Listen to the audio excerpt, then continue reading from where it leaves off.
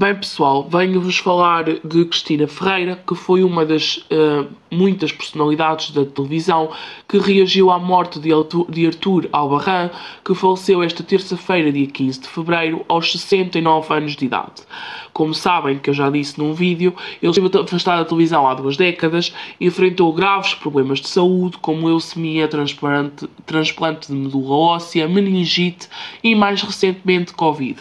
Ele estava a lutar contra um segundo cancro, não aguentou e acabou por falecer aos 69 anos de idade. Ele trabalhou tanto na SIC como na TVI e Cristina Ferreira foi uma das primeiras figuras públicas a reagir à triste notícia, dizendo no Insta Story o seguinte: Há pessoas que fazem parte da nossa vida só de, vermos, de as vermos na televisão. Escreveu então Cristina Ferreira, acompanhado de uma foto de Arthur Albarrão.